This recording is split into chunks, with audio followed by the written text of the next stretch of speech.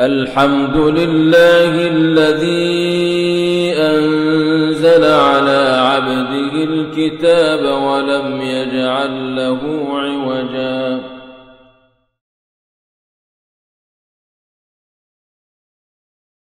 بسم الله الرحمن الرحيم. نتدارس اليوم على بركة الله تعالى الصفحة الثالثة من المصحف الشريف. قال تعالى إن الذين كفروا سواء عليهم أنذرتهم أم لم تنذرهم لا يؤمنون. إذا انتقل السياق إلى الكلام عن الكافرين وهو في آيتين. آه والكافرون ها هنا هم كافر هم أناس مخصوصون أولئك الذين طبع الله تعالى على قلوبهم بحيث لا يخرج من قلوبهم كفر ولا يدخل إليها إيمان. بين الله تعالى أنه ختم على قلوبهم وعلى سمعهم وأنه جعل على أبصارهم غشاوة. ثم انتقل السياق بعد ذلك إلى الكلام عن المنافقين. والكلام عن المنافقين أطول من الكلام عن الكافرين وسنذكر سر ذلك إن شاء الله تعالى.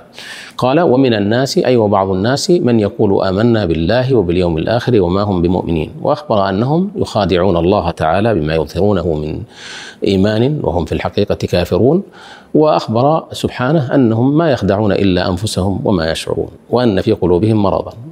فزادهم الله تعالى مرضا. ولهم عذاب أليم بما كانوا يكذبون. ومن صفاتهم أنهم إذا قيل لهم لا تفسدوا في الأرض قالوا إنما نحن مصلحون يدعون أنهم مصلحون.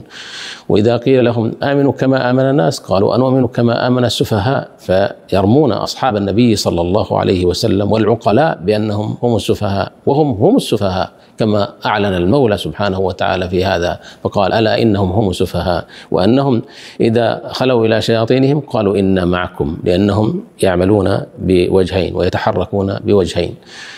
أخبر الله تعالى عنهم بأنهم اشتروا الضلالة بالهدى وأنهم ما ربحوا في تجارتهم وما كانوا مهتدين.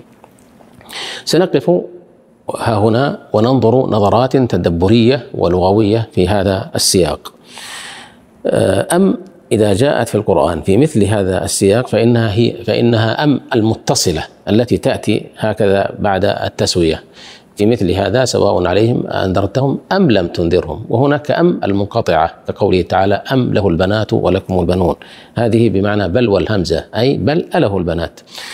ويسأل بعض بعضهم عن الفرق بين الختم والطبع.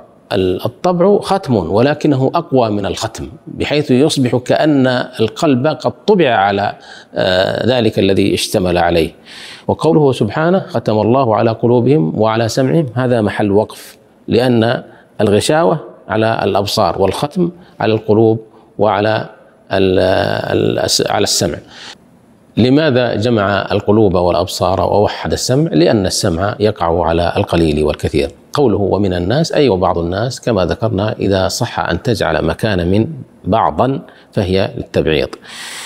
والناس مفردها إنسان والإنسان سمي انسانا من الأنس وقد جرى في ذلك الخلف كما أشار إلى ذلك بعضهم جرى الخلف في الإنسان هل كان أصله من الأنس أو نسيانه للودائع والصحيح أنه من الأنس وقوله سبحانه وما يشعرون هذا من الشعور وهو علم محسوس كأنما يلامس شعر الجلد. وقيل هو إدراك الشيء على وجه دقيق كالشعر.